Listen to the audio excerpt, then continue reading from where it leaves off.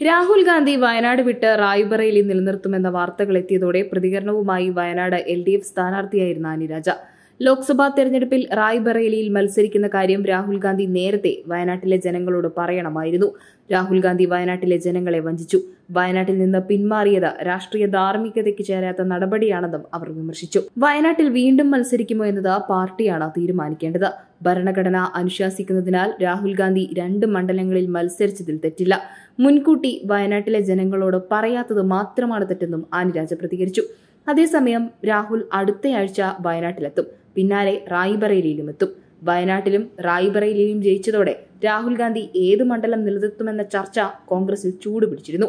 രാഹുൽ ഗാന്ധി വയനാട് ഒഴിയുമെന്നും റായ്ബറേലിയിലെ സീറ്റ് നിലനിർത്താൻ പ്രവർത്തക സമിതിയിൽ ധാരണയായെന്നും വാർത്തകൾ പുറത്തുവന്നിരുന്നു തീരുമാനം ഉടൻ കേരള നേതൃത്വത്തെ അറിയിക്കുമെന്നാണ് വിവരം. ഔദ്യോഗിക പ്രഖ്യാപനം പിന്നീടാണ് ഉണ്ടാവുക മണ്ഡല സന്ദർശനത്തിന് ശേഷമായിരിക്കും തീരുമാനം അറിയിക്കുക. അതേസമയം റായ്ബറേലിയാണോ വയനാട്ടിലാണോ രാഹുൽ ഗാന്ധി തുടരുക എന്ന കാര്യത്തിൽ രണ്ടോ മൂന്നോ ദിവസത്തിനുള്ളിൽ തീരുമാനമുണ്ടാകുമെന്നാണ് A I C C general secretary K C Venugopal വാർത്താ സമ്മേളനത്തിൽ അറിയിച്ചത്. രാഹുൽ ദേശീയ നേതാവായതിനാൽ ഉത്തരേന്ത്യയിൽ തന്നെ തുടരണമെന്നാണ് ഭൂരിപക്ഷം നേതാക്കളുടെയും ആവശ്യം.